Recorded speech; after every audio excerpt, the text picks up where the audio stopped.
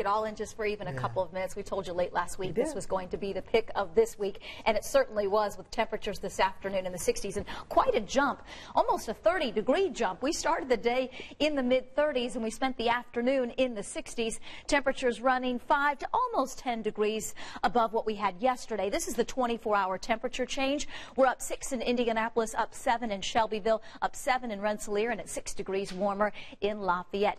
February warmth at 61 in the capital city. It's been breezy most of the day as well. Winds southwest at 15. The official high coming in at 63. The official low at 34. Obviously well above the averages of 45 and 27. And thankfully another much needed dry day for central Indiana. This evening increasing clouds but out and about early this evening. Roads will be dry. Temperatures will fall into the upper 40s by 11 p.m. and then pretty much stay there through the early part of our Wednesday morning morning.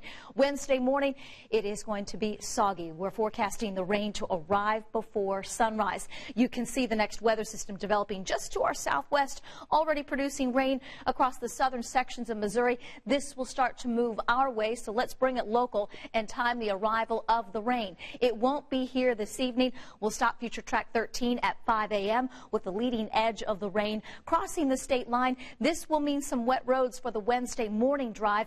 We think the steadiest rain will fall the early half of the day, then just a few spotty showers around tomorrow afternoon and tomorrow evening. A soggy start 48 at 9 a.m. Showers still around at 1 p.m. 53. These will be rain showers and not snow showers with temperatures tomorrow afternoon in the mid 50s. We track another round of steady rain Wednesday night into early Thursday before we cool it down by the end of the work week. Still mild the next couple of days. Steady rain tomorrow morning may slow the morning drive. Scattered afternoon showers. Another round of steady rain early Thursday, maybe a few rumbles of thunder. Breezy too Thursday into Friday, but we'll start to clear it back out. Sunshine is back in the forecast for Friday, Saturday, and Sunday.